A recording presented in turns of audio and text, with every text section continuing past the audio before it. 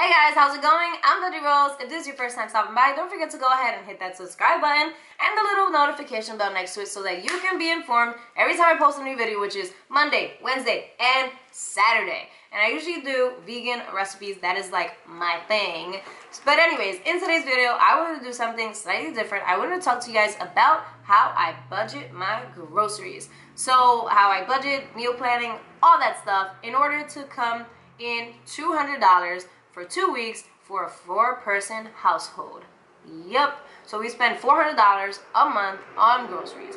Anyways, so I just want to go straight in and show you guys how I do this and yeah. So, first thing that I do. Well, first off, you need to find somewhere to get groceries on the cheap. I go to a local produce produce place, the produce junction, and you can find like a local farmers type thing and that's where you will get the cheapest produce and fruits. You can't beat prices when you go to like local farmers produce place. And then i also shop at aldi's. Aldi supermarket um, here we have it here on the east coast i know and i know they have it different places. I'm not sure exactly all over the place where it is but i know that we have it here and it is freaking awesome. You can stretch your buck like crazy. So I'm gonna go ahead and get started and show you guys how I do my meal planning. So, starting off with my meal planning, um, you see Monday, Wednesday, Thursday, yada yada yada. I don't normally stick to like a day. Like if it says tacos on this day and rice and beans and guac on that day, I don't necessarily stick to doing just that on those days. Like I can switch it up and do something different as long as it's on this list of uh, of yes. So as long as I have this list of meal options for two weeks. It doesn't matter what day I make them as long as I stick to those for these two weeks. So I'll start off by just sharing a couple of the stuff that I am making in, in these two weeks. So in these two weeks I have pasta with veggies, rice and beans with guac, uh, bean burgers, mashed potatoes with broccoli, tacos, um, and then I also have a barbecue cauliflower sandwich thrown in there to spice it all up. And those are our um, our dinner meals, our dinner meal planned ideas already for these two weeks.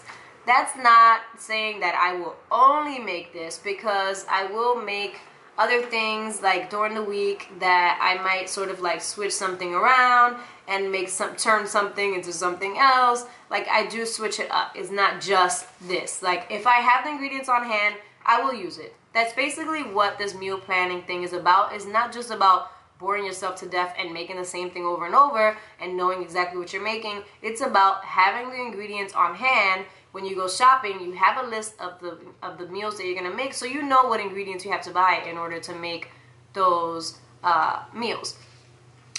Why? Which is why you're less wasteful. So we're trying to be less wasteful with food and also financially because you don't want to overbuy a bunch of stuff and stuff started going bad, yada yada, blah blah blah. So um, also for breakfast, um, we do about four, maybe five if I find something different um, to make. And this is our usual like breakfast staples. It's oatmeal, grits, pancakes, and cereal. We sometimes do granola when I make granola. And our pancakes are switched up so often. I'm constantly making different kinds of flavors and recipes for pancakes so it doesn't get boring. And then oatmeal, we also switch it up a lot. And then cereal, we usually have cereals on like lazy mornings, like on the weekends where I'm like, oh, mommy is off. I don't feel like making any breakfast and cooking all this stuff because all week I've been making breakfast, lunches, breakfast and lunches in the morning, and I'm like, not today. How may I help you? And then for lunches, for lunches, uh, like I said, Another lazy thing, my peanut butter and jelly, that's my lazy thing. On the weekend, we might do like peanut butter and jelly for the kids if I just don't feel like making something on one of those days. And then we also have chickpea salad, which I'll link down below. I have a recipe for the chickpea salad. Oh, I also have a, a recipe for the barbecue cauliflower sandwich, which I'll also link down below. And then we'll do, uh, I also have on our lunch options is lentil tacos, grits, and mushroom cheesesteak. So basically this is our menu for the next two weeks. And we'll switch it up and like make whatever is on the list. Like I said, I don't stick to specific days. Alright, So we're flipping it around. On the back side, I have my actual shopping list. Now I don't always do my shopping list this way. I, a lot of times I just write it down on a piece of paper for the simple fact that um, this is an awesome grocery list. This is the ultimate vegan shopping list by the Friendly Fig. And this is actually a PDF that I just downloaded off of the blog. Um, but the reason why I don't always use this is because I have to like, I find myself writing a lot of like extra stuff that is not on the list already around it. So I just do paper, whatever, I just write it down. But I just, I was feeling lazy and didn't feel like writing anything down. So I decided to do it this way. But anyways, yeah, so I'll go back and forth. I'll look at my menu, um, my meal planning menu for the two weeks, and then I'll, I'll go through each thing. So I'll be like, okay, pasta with veggies. What do I need to make pasta with veggies? All right, so I need pasta, which we usually always have in the pantry, and then veggies, and then I'll put veggies. If I, I, you know, if we're running low on veggies, rice and beans with guac, I'll put whatever I need to make the beans. I'll put guac on there because I like to buy the actual pre-made stuff especially when avocados are expensive, bean burgers, blah, blah, blah. You get the point. So for everything on the list, I will go through the stuff that we need, the ingredients that we need to make that actual meal, and then I'll go ahead and put that on our grocery list. That way, we have all the ingredients for the menu or the meals that we are planning. And then um, also on top of doing like the meals, then we also have to have snacks. So for snacks, we do like pretzels, corn tips, tortilla chips, cookies, crackers, stuff like that. So, okay, so we have our grocery list done, right? What's next? So basically, I would go shopping at this point. But I found this new app. No, I'm not sponsored by this app. Um, I wasn't contacted by them. None of that. I just found this cool app that I wanted to share with you guys. And it actually helped me a lot more this week with budgeting there is this app. My phone is not the screen is the screen is not what's cracked. It's actually the screen glass screen protector. But anyways, it's called Listonic, and this is it right here. So this is an app called Listonic that I found, and it's actually a free app, which is awesome. And basically, you make your list as you would make like any regular list from any app. So I have my groceries here. So you make your list, and then once you make your list, um, these are the stuff that I still need to get and then these are stuff that I already bought that I checked off. And as you can see, I freaking found this app so awesome because you can actually put the prices to everything. So next time that I do a budget, I know exactly how much everything is, or roughly, because you know stores sometimes change their prices, which is so frustrating.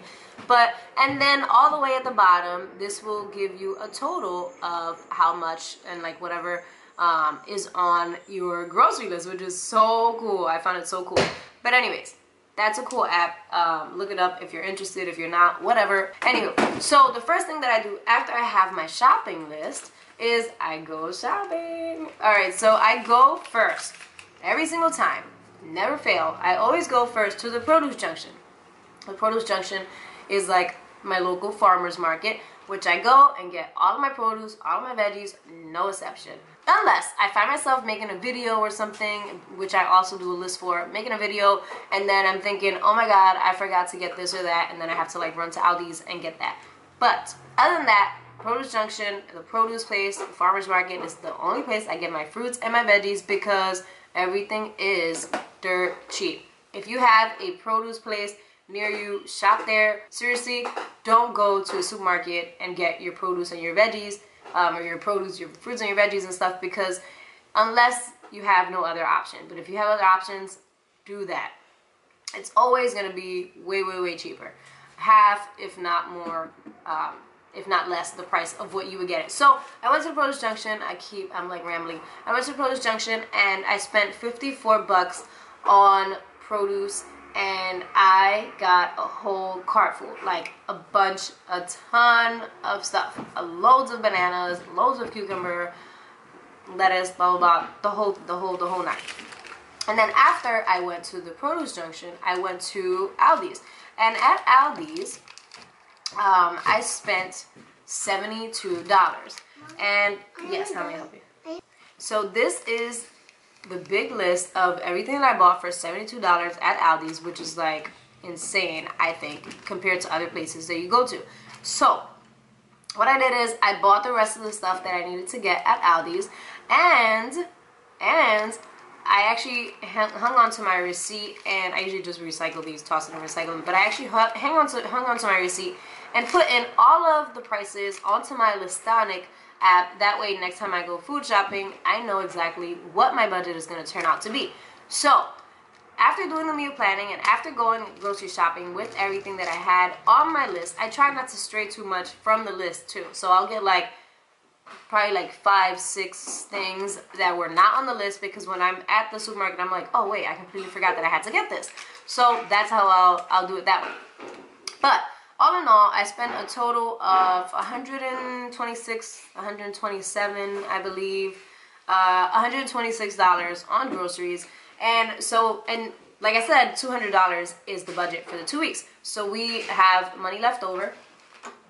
So what do I do with the money that's left over? So what I do with the money that's left over, if you have money that's left over, you can actually save it, obviously, right? But I also get non-food things with the grocery money. So I also include like paper towels, which we only use for the bathroom now because we've switched over to um, non-disposable towels in the kitchen. Um, I will get like uh, Dr. Bronner's, like some bath soap, laundry detergent. Um, we'll get, you know, things that are consumable but are not necessarily food. And that is also included in our grocery list. So that is how I managed to do $200 for two weeks and then a lot of times have money left over. And we're guilty of sometimes having money left over and going to like the diner and getting something to eat. So yeah, but so yeah, that is how I do the grocery uh, meal planning budgeting. I do my list of food I'm gonna make. Um, I make a list of the food that I need to, or the ingredients I need for each meal, and I just go and do it. And like I said, that app is awesome. If you're trying to budget and you will, look, after the first time you go and put the prices in, I think that you will have a great time actually going in and knowing how much you're going to spend. Um, again, not sponsored. I know I sound very like adamant about, oh, check it out. But it's because I just think it's an awesome app and you guys would benefit from it. So I hope that this video was helpful. Let me know if you guys would be interested in seeing like some other, maybe like a household budgeting thing or organization thing. I don't know. Let me know if you guys would be interested in more videos like this. Um, not taking away from the food videos but just aside from that let me know. Give this video a big old thumbs up if you liked it and I will talk to you guys very soon